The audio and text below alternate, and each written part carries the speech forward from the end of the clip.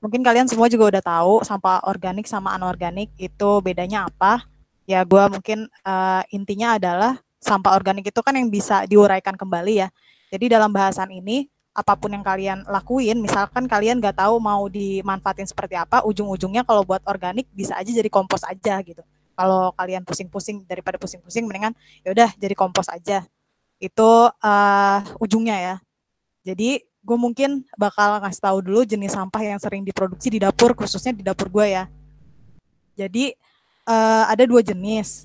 Sebenarnya ya sampah gas juga, cuman kan sampah gas agak susah ya buat dimanfaatinnya. Jadi di sini ada sampah padat, ada sampah cair.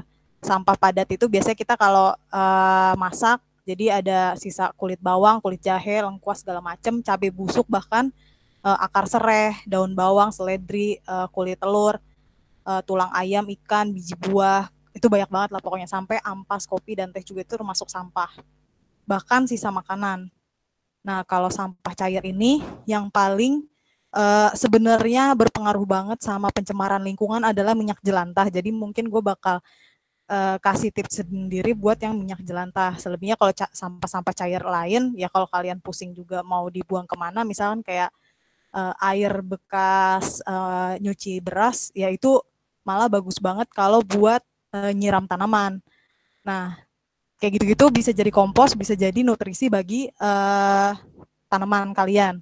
Nah, di sini malah minyak jelantah yang agak uh, ribet karena kalau kalian buang minyak jelantah itu ke dalam pipa pembuangan seperti di sink kitchen, nanti masalahnya itu akan uh, minyak jelantah kan nggak bisa larut sama air ya. Jadi dia bakal mengendap di atas permukaan air. Kalau misalkan udah sampai ke sungai atau bahkan mungkin ke ya mungkin ke sungai, itu akan menutupi permukaan air sungai dan itu sama aja kayak sabun deterjen yang uh, ada parabennya. Jadi uh, itu akan mempengaruhi tanaman-tanaman atau uh, tanaman-tanaman di air yang di bawah yang butuh sekali sinar matahari. Jadi ketutupan sama minyak jelantah atau paraben tadi deterjen. Nah, jadi ini uh, minyak jelantah yang kalau misalkan gue masak ini udah hampir tiga bulan ya. Ini selalu uh, sampah minyak jelantah itu gue simpen.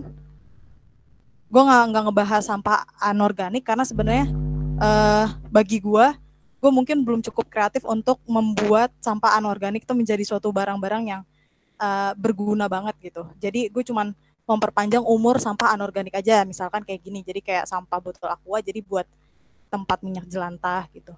Nah, jadi cara pembuatan sabunnya sebenarnya uh, ada juga nih, kayak Bu Haji juga jualan sabun ya. Mungkin dia juga tahu dikit lah.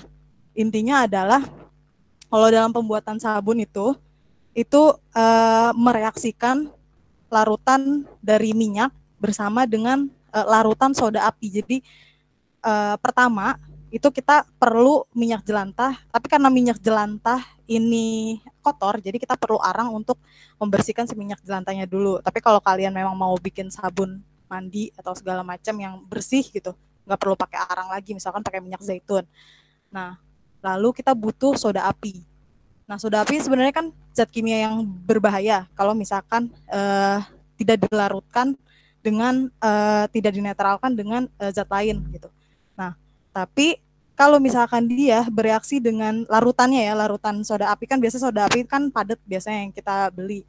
Nah, jadi ini pertama harus dilarutkan dulu dengan air. Jadi eh, air dimasukkan ke dalam wadah, wadahnya pun nggak boleh yang terbuat dari aluminium karena ini bereaksi dengan soda api. Dari wadah yang udah diisi air, baru dimasukin soda api. Baru diaduk sampai dia jadi larutan soda api udah sampai itu nggak boleh terbalik ya. Nggak boleh soda api dimasukin air karena ini bakal bereaksi jadi letupan-letupan yang uh, katanya sih berbahaya jadi gue nggak pernah nyoba gitu. Uh, setelah udah jadi larutan soda, soda api minyak jelantah yang tadi udah dimasukin arang dan udah ditaruh mungkin selama sehari nah ini baru bisa kita saring minyak jelantahnya biar arangnya nggak ikutan ke dalam larutan soda api ini.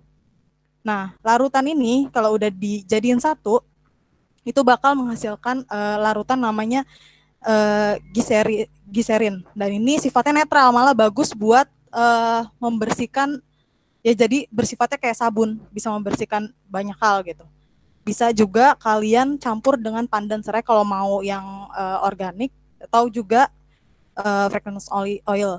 Jadi mau melati atau mau yang harum-harum yang lain gitu itu boleh aja. Nah, nah ini minyak jelantanya ini tadi kalau misalkan udah dicampur sama minyak jelantah sama larutan soda api bisa diaduk pakai sendok kayu atau hand blender kalau kalian punya. Ini uh, sampai cukup kental dan bisa dicetak aja sih sebenarnya. Habis itu uh, bisa dilarutkan ke cetakan terus didiamin selama 3 sampai 4 minggu. Nah, jadi alhasil bisa dapat uh, sabun untuk cuci lap, keset, tapi bukan untuk uh, cuci apa namanya yang kena kulit banget ya misalkan kayak sabun mandi. Karena ini kan dari minyak jelantah tapi kalau kalian mau bikin sabun mandi sendiri ya bisa pakai minyak zaitun. Nah terus yang kedua ini juga ada ekoenzim ekoenzim ini uh, ini uh, awalnya itu kan dari Asosiasi Pertanian Organik Thailand. Nah, di sini ekoenzim ini sampah-sampah kayak kulit kulit buah.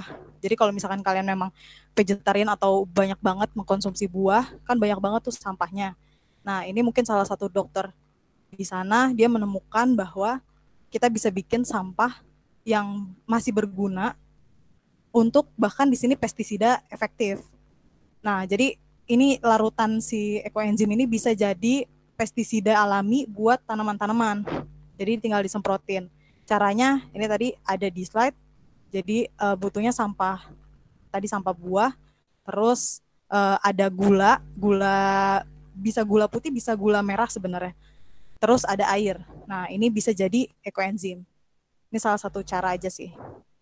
Uh, terus juga ini sebenarnya bisa jadi pembersih alami. Kalau uh, gue juga kan sebenarnya gue orang awam gue nggak pernah belajar berkebun gue nggak pernah hidup dengan apa ya uh, meminimalisir sampah ini baru-baru isu uh, sekarang-sekarang ini. Jadi gue belajar sama kebun kumara. Di kebun kumara ini juga diajarin caranya pembuatan ekoenzim ini. Juga kalau di sana ekoenzim ini digunain buat kayak uh, buat larutan buat pembersih lantai. Kayak gitu. Nah ini juga lumayan efektif. Atau lo ngebersihin sink kitchen kayak gitu-gitu juga bisa. Nah lanjut. Tadi yang gue bilang kalau misalkan kalian males dengan semua hal yang tadi, misalkan kalian punya sampah organik gitu, ya udah kalian cukup dibikin kompos aja. Di sini gue uh, referensinya awalnya dari kebun kumara jadi secara teori ya. Kalau yang diajarin sama kebun kumara itu gue disuruh buat siapin tempat kompos. Itu bisa dari ember ember biasa terserah kalian. Nah, terus uh, lubangin yang bagian bawah embernya. Dilubangin ini fungsinya adalah karena nanti embernya ini bakal ditanam ke tanah. Jadi uh, biar membuka jalan atau pintu bagi mikroorganisme yang ada di tanah untuk masuk ke dalam si tempat kompos ini. Nah, kalau ini udah udah dibikin, udah diletakin ember dalam tanah, baru deh kalian bisa masukin ada dua komponen di sini. Ada greens, ada browns. Nah, untuk yang green biasanya kayak sayur uh, sampah sayur atau buah dan juga makanan-makanan sisa makanan lain lah ya. Nah, kalau yang browns ini ada tanah, ada daun kering, ada kulit telur juga. Sebenarnya kalau kulit telur uh, juga bisa langsung aja kalian taruh di uh, pot-pot tanaman. Itu juga bagus uh, kalsiumnya sama magnesiumnya kalau nggak salah itu buat tanaman. Sama sebenarnya kayak kulit bawang, kulit ya kulit-kulit yang agak kering gitu, kalian langsung masukin ke dalam ke atas pot-pot tanaman kalau udah agak gede gitu itu juga bisa jadi mulsa. Mulsa itu yang buat uh, tanah biar kelembabannya tetap terjaga. Jadi nggak langsung kering ketika kena sinar matahari. Nah, mulsa alami itu bisa dari tadi sampah-sampah tadi. Nah, ini setelah dimasukkan, ini biasanya gue perbandingannya satu banding satu. Misalkan kayak ada sisa sayur, buah, uh, terus kayak makanan uh, satu greens, satu browns. Jadi ditambah tanah, ditambah daun kering, kulit tulang, uh, kulit telur, tulang, nah kayak gitu. Di situ begitu aja terus. Jadi setiap hari kalian buang sampah di tempat kompos kalian dalam situ sampai biasanya satu bulan tuh udah bisa dipanen. Nah, cuman karena uh, gue belum ngerenov rumah gue waktu itu Uh, jadi gue nggak bisa ngelakuin cara kompos yang seperti diajarin sama kebun kumara. Jadi gue nggak ngegali tanah, lalu gue uh, taruh tempat tempat sampah di situ. Akhirnya gue beli yang cara gampangnya, jadi ada uh, compost bag. Jadi dia ada lubangnya di paling bawah, jadi bisa dibuka. Itu untuk ngambil panen yang ada di bagian bawahnya. Jadi setiap setiap kalau misalkan udah lebih dari satu bulan kalian tinggal ngambil yang bawahnya ntar kan yang di atas bakal turun. Nah terus uh, isi lagi isi lagi sampahnya dengan tadi di kompos bag itu. Sama jadi perbandingannya tadi ada ada brown ada green. Tapi karena gue juga mau cepet jadi gue tambahin kompos di situ. Nah jadi yang kedua nih bisa kalian lihat bahwa uh, ada mikroorganisme kayak kaki seribu, belatung, cacing. Nah itu malahan yang dibutuhkan dalam kompos. Jadi ini yang mungkin mempercepat karena kan tadi gue nggak nggak bisa masukin atau uh, ditanam nih si kompos bagnya ini ke dalam tanah. Jadi yang gue lakuin adalah kalau kalian beli kompos bag berarti kalian harus nyiapin kompos yang udah ada isi mikroorganismenya aja biar cepet um, uh, sampah-sampahnya terurai kayak gitu. Nah, terakhir ya tadi gulma-gulma dari kebun juga bisa sekalian dimasukin ke dalam kompos bag. Jadi kan bisa daun kering, bisa daun-daunan yang memang nggak terlalu dibutuhin lah. Nah, ini masuk ke sini semua. Sampai sebenarnya e, cara taunya dia udah panen atau enggak kompos itu. Kompos itu kan panas ya dia kalau misalkan memang belum. Jadi cara penguraian si organisme ini terhadap sampah dia akan mengeluarkan mungkin suhunya bakal tinggi gitu. Nah, jadi kalau udah sampai dingin, nah ini berarti udah siap dipanen dan udah bisa buat ditaruh di pot-pot atau di tanah kalian biar subur. Nah, gue mungkin cepet-cepet aja ya. Nah, takutnya kelamaan. Nah, ada cara yang lebih uh, baik lagi untuk pemanfaatan sampah adalah untuk organik adalah ya kita pilih kalau buat tanaman-tanaman yang berbiji itu kan bisa kita tanam lagi. Jadi ini beberapa contoh tanaman gue yang gue ngambilnya dari sampah uh, sampah dapur. Jadi kayak ada cabai merah rawit terus ada tomat ada anggur ada jeruk. Nah ini yang gue tebar aja sebenarnya. Jadi gue juga tipenya kadang ada waktu ada enggak. Jadi kayak kalau misalkan ada biji-biji buah gue tebar aja di tanah. Terserah mana yang uh, apa namanya hidup mana yang enggak. Jadi ada yang kayak gitu. Cuman memang yang paling susah tuh uh, yang cabai rawit merah. Uh, dia susah banget buat uh, tumbuh apa namanya bunga dan juga uh, jadi cabenya karena satu masalahnya di tengah jalan itu biasanya ada hama kutu kebul. Jadi kalau kata orang pestisidanya adalah sebenarnya uh, larutan cabenya sendiri buat ngilangin si kutu kebul. Misalkan ada yang putih-putih di bagian daun tuh dan dia jadi kriwil-kriwil daunnya. Nah, itu itu masalahnya biasanya kutu kebul. Nah, terus lanjut ke minimalisir sampah dapur organik. Jadi, selain pemanfaatan sampah organik, kita juga harus apalagi di masa pandemi ini, kita harus pinter-pinter buat pengawetan sampah dapur organik. Karena kita misalkan udah nyetok makanan banyak, tapi ternyata ujung-ujungnya busuk, kan jadinya mubazir apalagi di tengah pandemi kayak gini rasanya gak etis kalau kalian nyetok tapi pada ujung-ujungnya adalah ngebuang juga dan jadi sampah nah jadi memang gue juga lagi belajar sebenarnya food preparation buat masak biar mempersingkat waktu masak dan juga sebenarnya buat pengawetan tapi sebelum itu kita harus tahu bahan makanan apa aja sih yang baik diletakkan di dalam kulkas dan mana yang nggak baik di dalam kulkas. Nah, jadi hmm, awalnya tuh gue uh, selalu naruh bawang merah sama bawang putih itu dalam kulkas.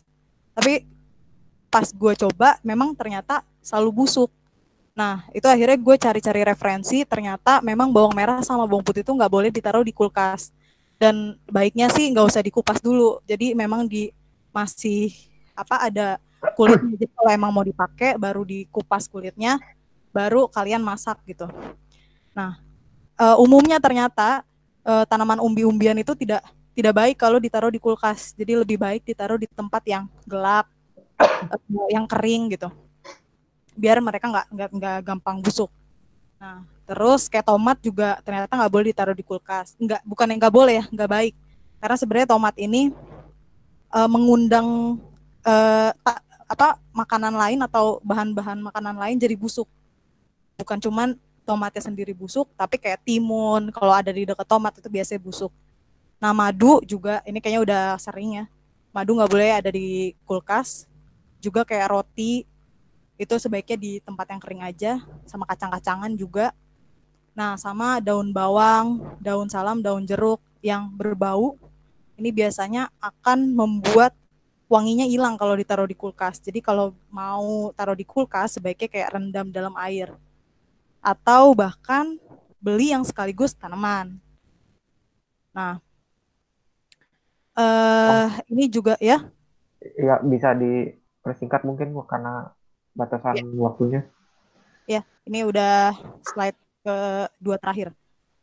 Nah, terus kalau misalkan kalian memang uh, punya sayur atau buah yang udah hampir mau busuk, jadi buru eh, buru-buru aja bikin jus buah. Atau uh, gue juga lagi suka nontonin food vlogger, uh, Liziki. Nah, dia kayak orang China gitu.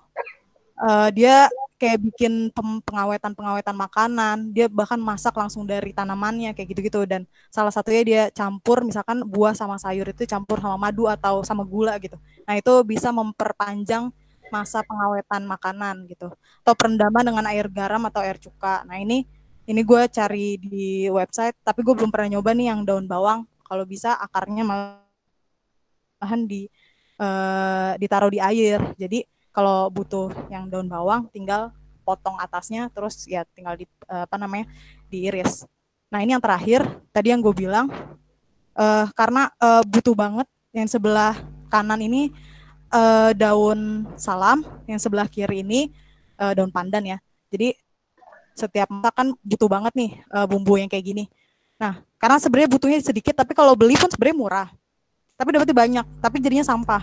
Kayak daun salam nih gue beli 2000 bisa dapat satu batang penuh banyak banget daunnya gitu. Cuman yang paling gue pakai cuma tiga atau dua akhirnya gue beli tanamannya aja. Jadi kalau setiap mau masak gue tinggal uh, apa namanya potong daunnya. Nah ini lumayan jadi mengurangi sampah. Itu aja sih sekian dari gue mudah-mudahan bermanfaat di masa pandemi ini jadi mudah-mudahan kalian juga nggak terlalu banyak ngebuang sampah dapur jadi bisa buat masak Oke. Okay. Oke, okay, thank you Epong untuk sharingnya, sharing pemanfaatan sampah organik ya. Ini mungkin untuk sesi tanya jawabnya satu aja dari chat ya tadi ada untuk yang waktu bikin sabun itu kan pakai minyak goreng atau misalnya dari keke eh dari siapa tadi nih kanyak kok nggak salah ya. Biar nggak bau bekas gorengannya itu gimana ya? Kan mungkin kita pakai minyak goreng bekas ikan atau ayam. Singkat aja Pong. Ya jadi kalau misalkan buat kotorannya tadi yang pakai arang. Jadi arangnya itu bakal uh, bakal kotoran jadi nanti pas lagi minyak di lantai itu mau dipakai uh, arangnya nanti bakal disaring tapi tidaknya kotorannya uh, udah ke bawah sama si arang dan kalau mau ngindarin uh, baunya makanya tadi uh, bisa pakai pengharum atau pakai serai yang alami-alami aja gitu. Bisa pakai serai, bisa pakai daun pandan, jadi larutan daun pandannya. Gitu. Oke, okay. jadi ini mungkin Epok bisa sambil nanti menanggapi pertanyaan-pertanyaan dari chat ya, soalnya ini kita harus lanjut ke sesi okay, thank you selanjutnya. Semuanya. Thank you untuk Epong.